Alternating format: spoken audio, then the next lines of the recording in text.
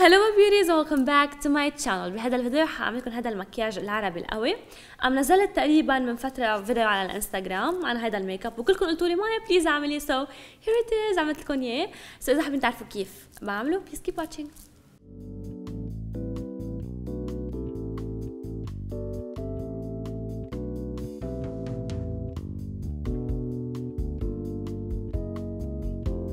أول شي حبلش بال Make Up For Ever Step 1 Equalizer primer اللي هو nourishing primer لأنه وشي كتير تعبان so بده شوية تغذية.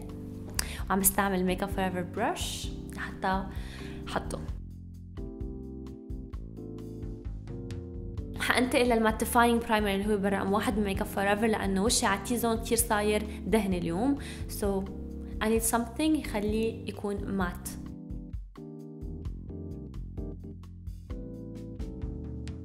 هلا صار وقت ال foundation وحأستعمل MAC Studio Sculpt بالرقم NC 25 عم استعمل Morphe foundation brush لوزعه بعدين برجع بقطع بال Real Techniques blender وبعمل tapping على كل شيء لحتى أعطي ال flawless finish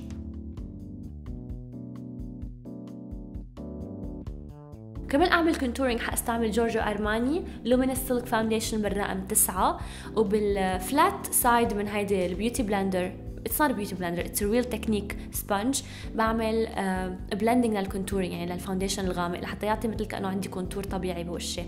I love هذا ال foundation اللي هو ال Luminous Silk فظيع شو flawless وفظيع شو حلو بيطلع على الوش وبالتصوير. كثير بنصحكم إنكم تجيبوا هال foundation it's like my favorite foundation هلأ. وبالنسبة لل concealer فأستعمل ال MAC Pro Longwear concealer بالرقم NW15 وعم وزعه بهيدي ال flat Make Up For Ever foundation brush أكيد برجع بطبطب عليه بال beauty blender. لثبت كل شيء invisible powder من MAC حبلش بال eye primer هلا ووزعه على كل الجفن. بتعرفوا أكيد my favorite eye primer هو من Make Up For Ever ولحواجبي حستعمل Anastasia Beverly Hills باللون الشوكولات. حابه بهال look يكونوا حواجبي شوي فتحين ليك عم بستعمل لون شوكولات. بالعادة بستعمل dark brown بالنسبة لل eyeshadows بهذا ال look حأستعمل أكتر شيء ال Inglot eyeshadows وأول شيء حاخد بهيدي ال blending brush الرفيعة اللون 337 من Inglot ووزعه على عظمة العين. برجع ب small shader brush من Morphe بوزعه على الجفن التحتاني كرمال أعطي غمق العينة بهيدي ال beautiful blending brush من Make Up For Ever ححط اللون البني الغامق على كسرة العين بس من الجهة البرانية يعني على ال crease على ال outer crease.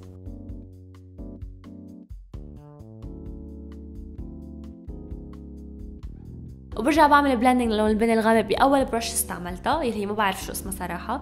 ومن Meet Matte palette باخذ هودي اللونين الأبيض والأصفر ب flat brush وبحطهم على الجفن بطريقة الطبطب يعني ال tapping لحتى يكون اللون ب يعني حتى ياخذ أقوى لون ممكن من هذا اللون ونفس الشيء تحت الحاجب.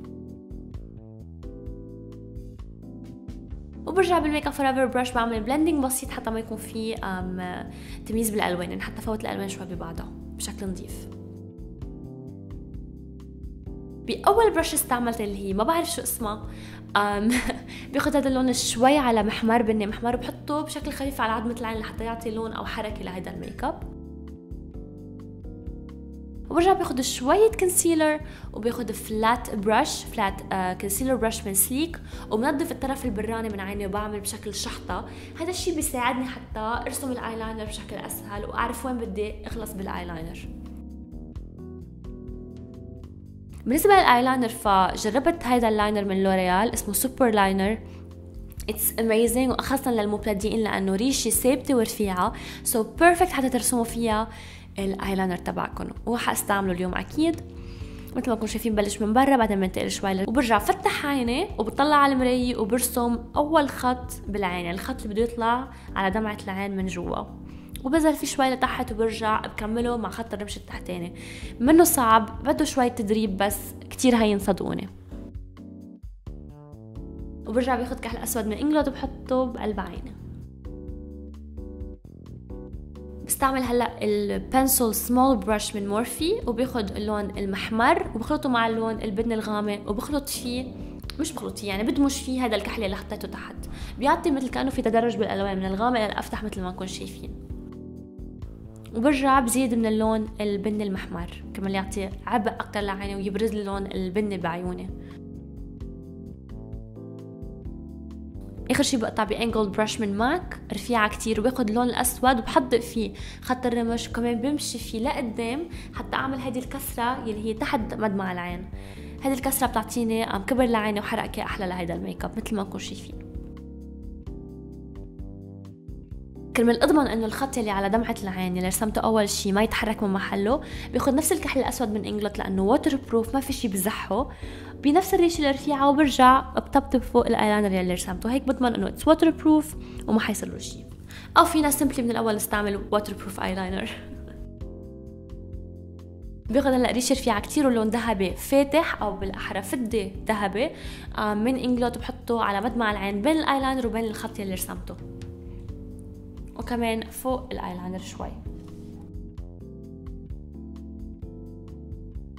وبالنسبة لل lashes فهستعمل هودي ال lashes اللي سوبر رخاص تقريبا حقهم 2 دولار وكتير منيح actually وهن بالرقم سي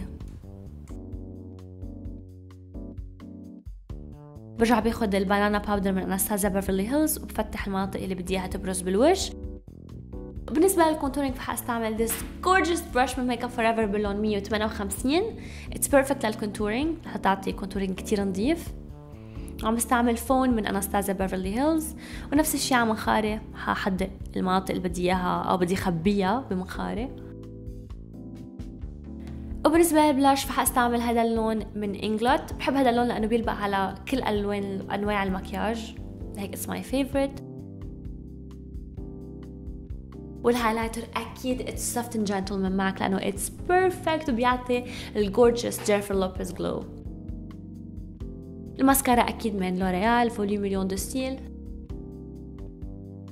وال lip liner من MAC بالرقم Soar أو باللون سور حقطع فوقه ب lipstick Myth من MAC وبيريشة بدمجهم مع بعض. لثبت كل شي حأستعمل Make Up For Ever fix spray وهيك بنكون خلصنا ميك اب اليوم.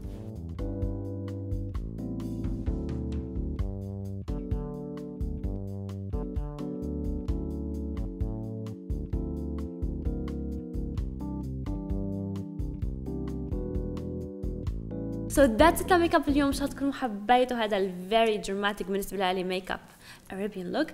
إذا حابين أعمل لكم ميك اب أقوى cause البعض يمكن يعتبروه سوبر قوي يمكن البعض يعتبروه إنه عادي medium so so إذا حابين أعمل لكم واحد أقوى please comment وقولوا لي وعلى قلبي أحلى من العسل بعمل لكم ميك اب أقوى. واذا حابين أعمل لكم فيديو انعم بس نفس ال style العربي for sure I'm gonna record a tutorial بهذا ال look بس بشكل انعم so yeah that's it لفيديو اليوم. Thank you so much for watching. Please subscribe to my channel قولوا لي channel. And follow me on my social media. Bye.